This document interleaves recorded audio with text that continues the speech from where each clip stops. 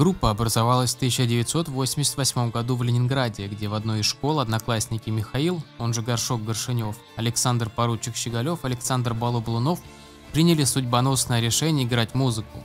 Историческая встреча Андрея Князева с Михаилом произошла несколькими годами позже в реставрационном училище Санкт-Петербурга. Там-то Андрей познакомился с творчеством группы, носящей тогда название «Контора». Горшок выступал как идейный вдохновитель и вокалист. Полу был гитаристом, поручик барабанщиком, в качестве инструментов используя пивную бочку. На басу играл Шурик Васильев. Князю понравились записи, а Горшку понравились стихи князя, на которые он сразу же стал писать музыку. Состав группы стал следующим. Михаил Горшок Горшинев. Давайте чуть подробнее поговорим о нем.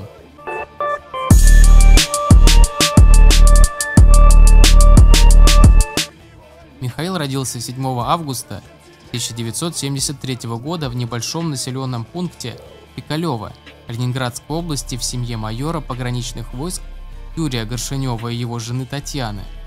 Мама будущего музыканта окончила Петрозаводскую консерваторию, преподавала музыку в детсаду, музыкальной школе, а потом перешла на работу в детский дом. Михаилу исполнилось два года, когда родился его младший брат Алексей, тоже посвятивший свою жизнь музыке. Он вокалист рок-коллектива Кукрыниксы. Отца часто переводили по службе в разные гарнизоны, семья везде следовала за ним. Горшиневы исколесили почти весь Советский Союз. На протяжении длительного времени им довелось жить на Дальнем Востоке. Когда Миша достиг школьного возраста, Горшиневы жили близ Хабаровска. Родители приняли решение не отдавать сына в местную школу, а отправить к родной бабушке в Ленинградскую область. Там мальчик и пошел в школу, Спустя некоторое время отца перевели в Ленинград. Он получил квартиру на Ржевке. Михаил продолжил обучение в городской школе номер 147. В то время музыка его мало интересовала. Мальчик мечтал о военной карьере, тренировался в секции бокса. Как-то незаметно пришло увлечение музыкой. Мише нашли учителя игры на гитаре, который занимался с ним дома. Именно в школе Горшинев познакомился со своими будущими коллегами, двумя Александрами, Балуновым и Щеголевым, которые учились с ним в одном классе, а потом играли в одной рок-группе. Они стали лучшими друзьями, и эта дружба длилась всю его жизнь. Андрей Князев, князь, родился Князев 6 февраля 1973 года в северной столице. Семья жила в Купчине. Здесь же Андрей учился в школе номер 443 посещая секции футбола и волейбола. Также он занимался рисованием. Дома у него царила комфортная обстановка. Родители поддерживали увлечение ребенка, в том числе, когда сын познакомился с Мишей и начал петь в группе. Андрей признавался, что окончательно от старших родственников съехал только в 32 года. У меня была своя творческая комната, и я не хотел из нее никуда переезжать, говорил Андрей. Александр Балу-Балунов в 19-й день весны 1973 года в городе на Неве у Татьяны и Валентина Балуновых случилось радостное событие. На свет появился младший сын Саша, рыба по знаку зодиака. Чуть раньше в семье принимали поздравления с рождением первенца Славы. Известно, что мать, в девичестве носившая фамилию Савельева, пришла в этот мир 20 декабря 1946 и посвятила себя музыкальному воспитанию дошкольников – а брат окончил политехнический институт. положенный срок мальчик пошел в местное среднее учебное заведение номер 334, а затем перевелся в школу номер 147, где в 14-летнем возрасте и произошло судьбоносное знакомство с Мишей и Александром. Причем Балу и Горшка сначала связало не мелодичное искусство, в то время у них даже не было гитар в наличии, а литература. Молодые люди вместе писали книги, а уже потом переключились на создание песен – как признавался артист позднее, школьные годы он практически не вспоминает.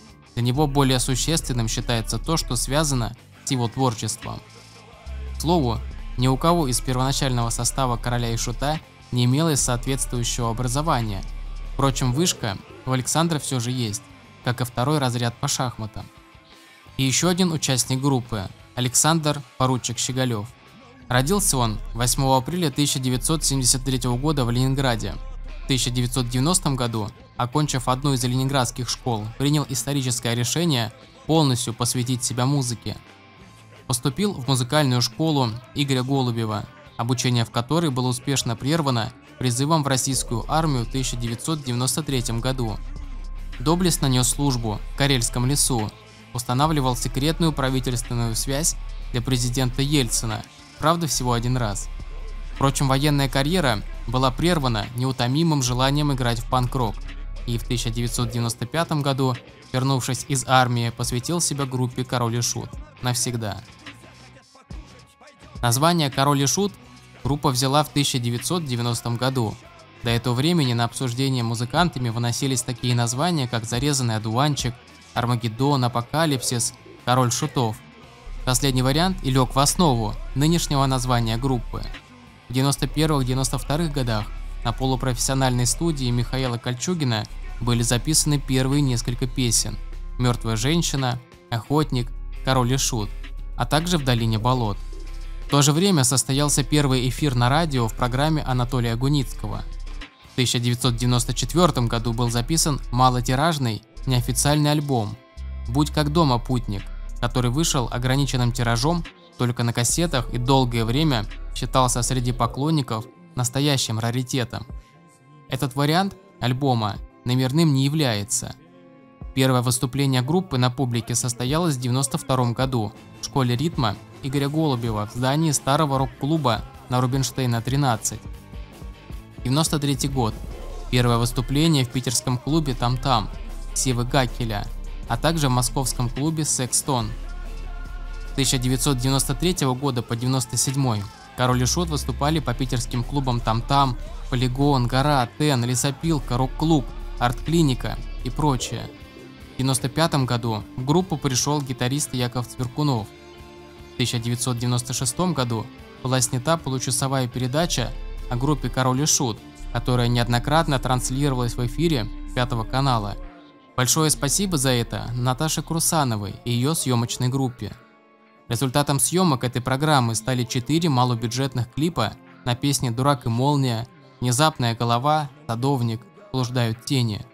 В 1996 году вышел в свет первый номерной альбом «Камнем по голове», записанный на студии «Мелодия». В этом же и следующем годах Король и Шут приняли участие в фестивале «Наполним небо добротой», который организовал Юрий Шевчук и театр ДДТ.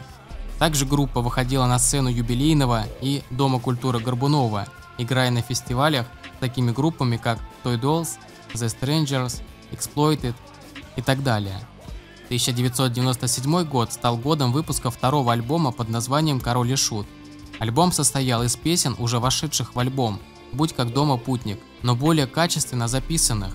Осенью 1997 года в группу был приглашен звукорежиссер Павел Сажинов и звук.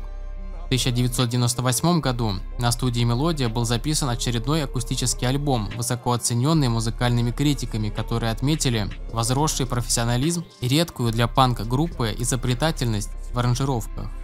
В записи принимали участие певица Марина Капура и скрипачка Мария Бессонова. Мария Нефедова, которая играла на скрипке, которая также участвовала в записи этого альбома, присоединилась к постоянному составу группы – Летом 1998 года питерским режиссером Борисом Деденевым был снят первый настоящий клип на песню «Ели мясо мужики». 20 февраля 1999 года группа впервые собрала дворец спорта юбилейный в Петербурге. Концерт был организован компанией SP Concert. В 1999 году акустический альбом был выпущен компанией ORT Records. В 1999 году также вышел в свет концертный альбом «Ели мясо мужики», записанный в клубе «Спартак» при содействии панкера – Игоря Гудкова и Алексея Деги по прозвищу Бесстрашный. Одновременно вышел и видео-вариант этого концерта. Из материалов этого выступления и концерта в ДС юбилейный 10 октября 1999 года был сделан клип на песню «Охотник». В 2000 году вышел в свет очередной альбом «Герои и злодеи», а в группе появился новый гитарист Александр Ренегат Леонтьев, который ранее привлекался в качестве сессионного музыканта. Тогда состав группы «Король и Шут» стал следующим. Андрей Князев, Михаил Горшинев, Александр Балунов, Яков Тверкунов, Александр Леонтьев, Мария Нефедова и Александр Щеголев. Весной 2001 года группа с размахом отметила десятилетие. Юбилею Король и Шут выпустили сборник своих лучших песен.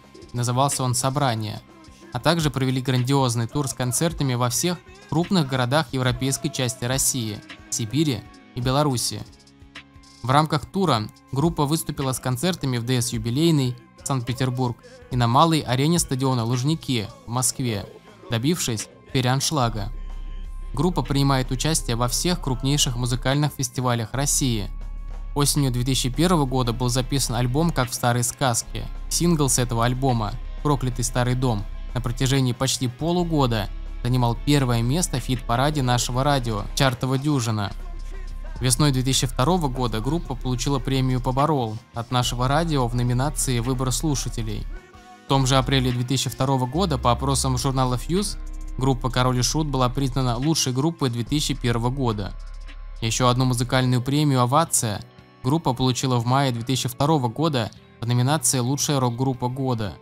В октябре 2002 года вышел очередной альбом «Жаль нет ружья», сингл с которого «Мертвый анархист» и «Медведь» долгое время оставались на верхних позициях теле- и радиохит-парадов.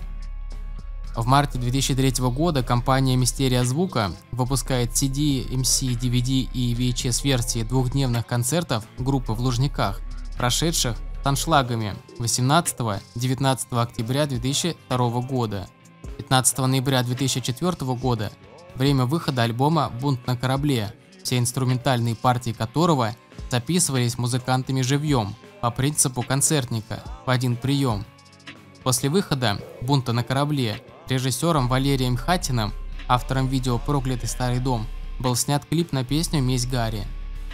2005 год заставил поклонников короля и шута серьезно поволноваться. Поводом к этому послужили вышедшие практически одновременно сольные альбомы фронтменов группы Андрея Князева и Михаила Горшинева. Горшок записал пластинку с песнями легендарной питерской группы «Бригадный подряд». А в октябре 2005 года в продаже появился сольный альбом Андрея Князева «Любовь негодяя». По словам музыкантов, их сольные работы всего лишь возможность самореализоваться и экспериментов вне их основного творчества – группы «Король и Шут». В конце 2005 года и начале 2006 в составе группы произошли серьезные изменения – из группы уходит скрипачка Мария Нефедова, а следом за ней по личным обстоятельствам покидает коллектив Александр Балу-Балунов, игравший в «Короле и Шуте» с момента основания группы. Также в связи с тяжелой семейной ситуацией Александр Ренегат Леонтьев прекращает регулярную работу в группе. На вакантное место скрипача группы был приглашен Дмитрий Каспер Орешко, а место бас-гитариста занял Дмитрий Колбаса Кандауров, которого через некоторое время сменил московский музыкант Сергей Захаров. Так сформировался нынешний состав группы.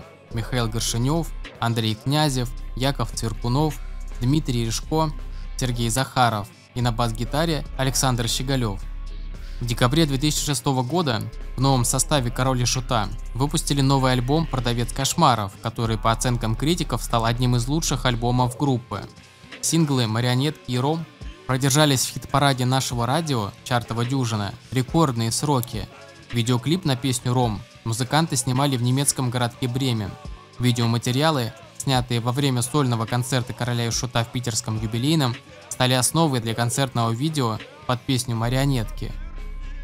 Зимой 2007 года князь и Горшок попробовали себя в новом качестве. Новый 2007 год на нашем радио начался со страшной сказки «Морозко», которую от имени автора персонажей по ролям рассказали фронтмены группы.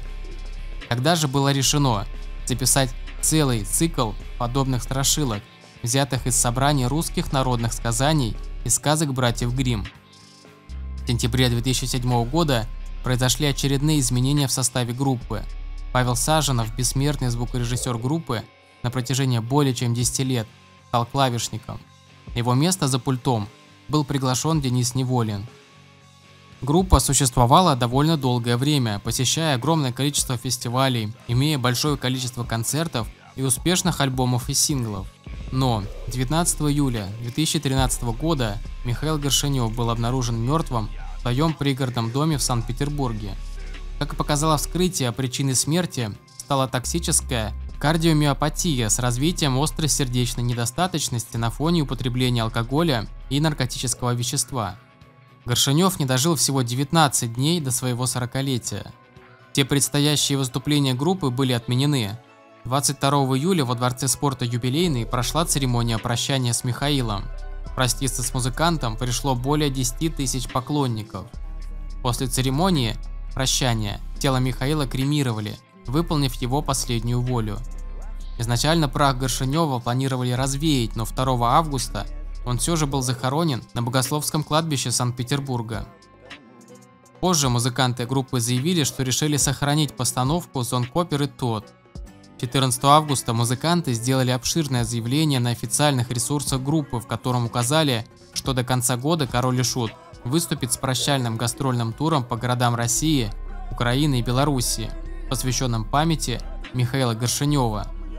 Последние концерты музыканты дали 27 28 декабря в Рязани.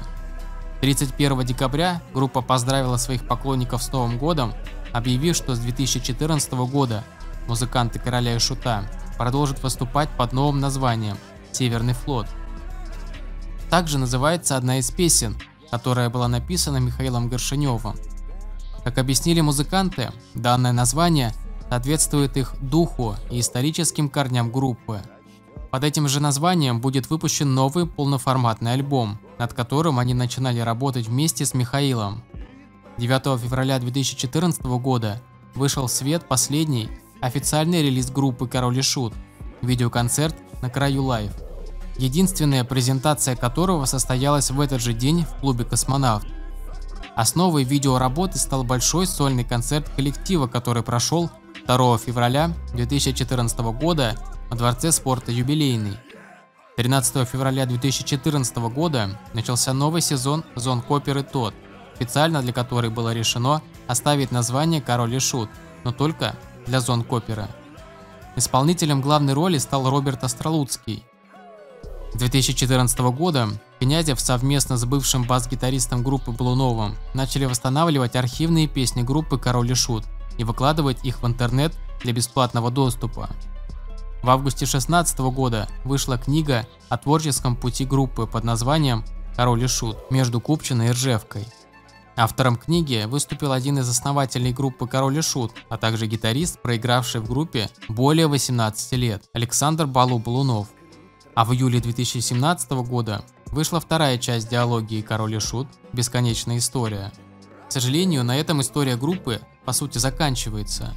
Но я знаю, все фанаты, которые слушали группу годами и выросли на их песнях, будут всегда хранить в себе, в своем сердце, память о этой прекрасной группе, о их выступлениях, о их концертах, о их произведениях. Поэтому группа вместе с их лидером будет жить вечно. А вам я хочу сказать спасибо, что досмотрели данный ролик до конца. Не забудьте подписаться на канал, поставить лайк, написать в комментариях ту группу, которой вы хотели бы услышать в следующем ролике. И до встречи! в следующем видео.